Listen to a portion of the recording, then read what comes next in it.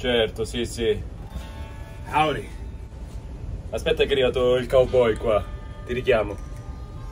Ciao. You got any pepper balls? Uh, pepper ball? You know, pepper balls. Ah, pepper ball. No, that ain't pepper balls.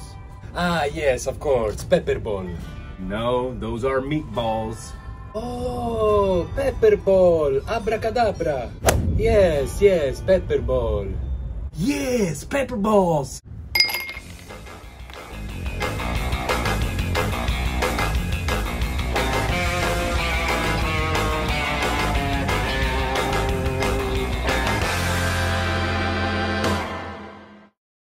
Good day folks, welcome back to my channel and as always, thank you so much for watching. So for today, I really didn't have anything groundbreaking to present to you guys.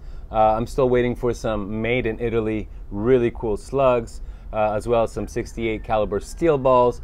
Anyway, none of that is here yet.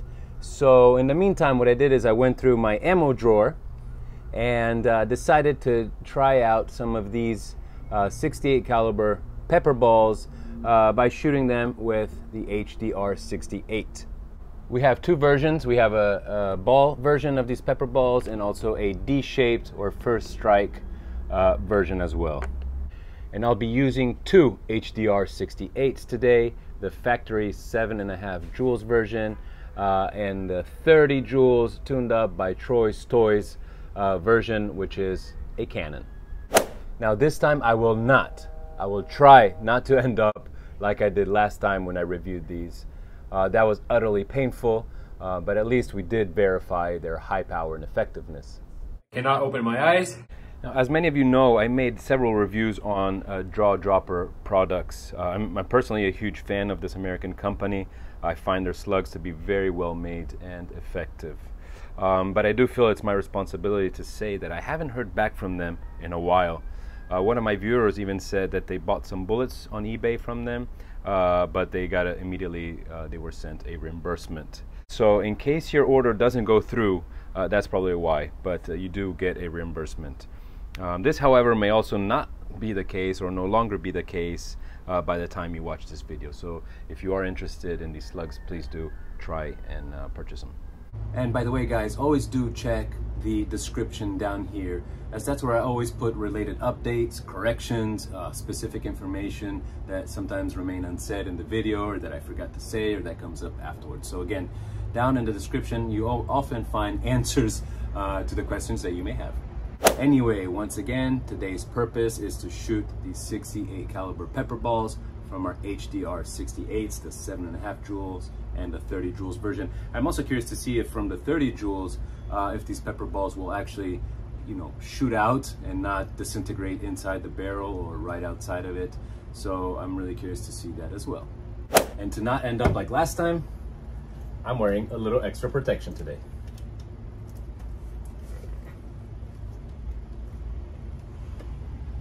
All right, let's start loading them up. We're gonna load the uh, D-shaped first. I'll use uh, four per gun. And uh, it's important to notice how clean they are. Really, there's no residue power coming out. Um, as you see, I'm not using uh, gloves. So yeah, pretty cool. Anyways, let's load them up.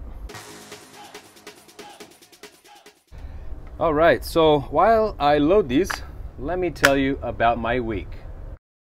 I've been following some snake hunters through the Everglades uh, almost every night this week till about 2 or 3 in the morning. As some of you know, I'm a news cameraman, and these days we're covering the Florida Python Contest, um, which is a state-funded, two-week-long hunt aimed at removing as many invasive Burmese pythons uh, from the Everglades. The Burmese python, which is a huge, huge snake, uh, has lived in Florida now for over 40 years. Uh, it flourished in the swampy Everglades and not having any natural predators, uh, it devours pretty much every animal out there and it kills up to 90% of the wildlife that it finds that it finds in its surroundings. Anyway, I thought I'd tell you about my week, uh, given that my job has taken me and keeps taking me to absolutely crazy places. Um, you know, if you're happy, I'd love to keep sharing the craziest experience uh, from now on. Again, if you're happy to hear them. But anyway, we are now completely loaded up. Uh, we are also gassed up. We have these 12 gram Crosman uh, CO2 cartridges inside. The gun is not ready yet to shoot. Uh, that happens only after we pierce the uh, piercing valve here, which we're gonna do right away. All right, we're ready to shoot.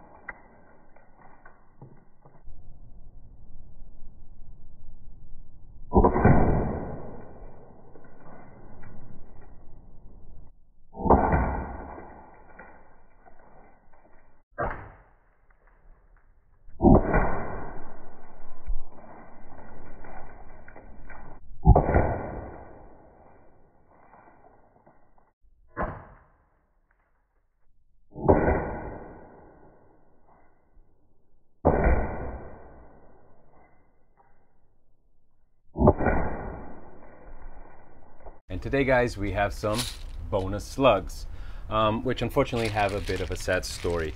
Uh, these were sent to me uh, from Germany to test out um, by a company called Morris Warren Held. Um, they are the ones who make uh, the buckshots, which I reviewed in this video, the 50 caliber uh, buckshots. Really, really cool uh, slugs. Uh, the maker sent me the 68 caliber version. I was super excited to review them. However, uh, apparently they got stuck in the German customs. Um, and what did they do there? They opened them up, every single one of them, opened up these buck buckshots and then repackaged it as is, as just like this, and sent them to me. So um, I got I received them months later, unfortunately, all opened up. I was able to save about six of them. Um, what these are, again, they're, they're buckshots. They contain about 16 or 14 or 15 uh, four and a half millimeter uh, BBs uh, in this plastic 3D printed casing. Uh, so what they do is uh, the BBs uh, leave the barrel, or, or, I'm sorry, they leave the casing once the the projectile leaves the barrel. So they're like miniature shotguns, if you will. And with these, he also sent me these cool looking uh, plastic metal uh, slugs as well, which we're gonna test. And as always, we have our, our my, my preferred targets right here. And we'll be shooting them again with, uh, with the, actually I'll be shooting these with the 30 joules version of my HDR68. Another cool tool he sent me is this, actually sent me two of them, um, which help out in the unscrewing and screwing of the piercing valve. Let's get shooting.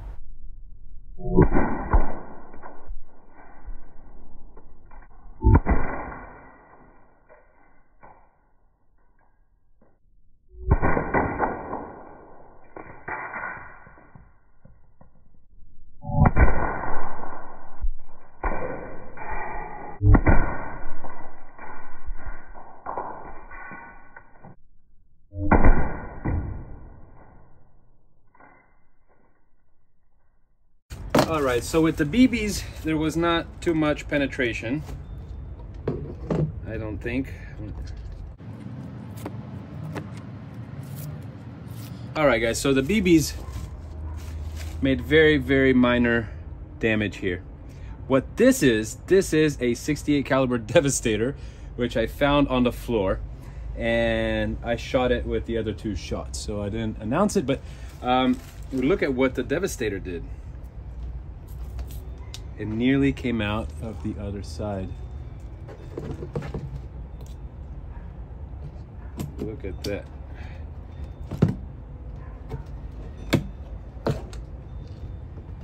Uh, hard to get.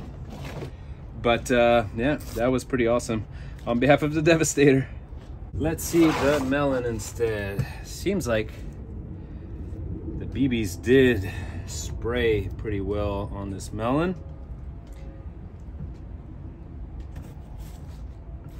Let's see how far did they go. Okay, we see some BBs here. So a couple inches in. It seems like more BBs went in or deeper.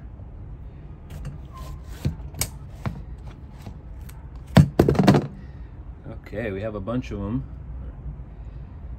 right here, laying right in the middle. Okay, so BBs and seeds.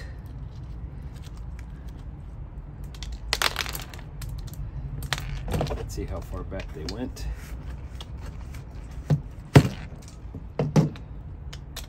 Well, this looks like the BB that went the furthest. So, crossed the whole melon and ended up right about almost on the other side. All right, folks.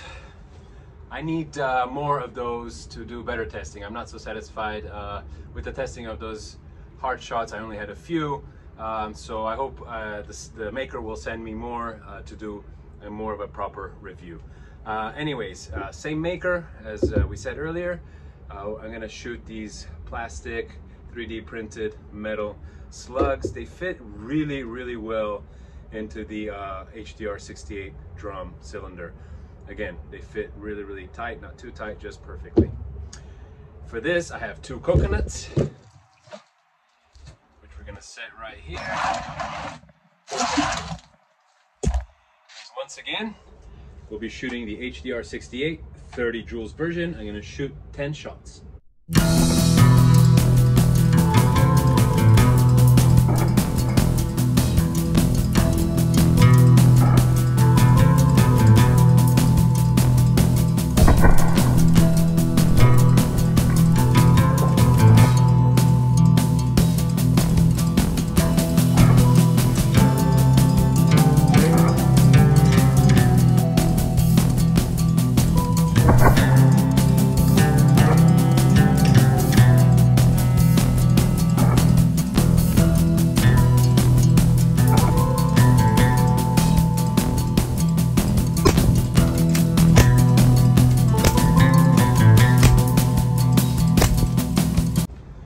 Yeah, there's something about exploding coconuts that just turns me on. And so I ended up shooting three magazines, AKA 15 shots. And the coconuts, have, as always, have been obliterated. These are very angry little things. 68 caliber German made plastic slugs with a BB. All right, folks. Seems that we are finally done for today as well. As always, this is what the alley looks like after a video. And this is what I look like. It is about 30 degrees Celsius, 90 something Fahrenheit pretty hot indeed, but uh, I'm glad that we got through this. And I hope you enjoyed this video, guys. Thank you so much for watching. Thank you so much for clicking that like button uh, if you did indeed like the video and for subscribing to the channel if you haven't done so yet.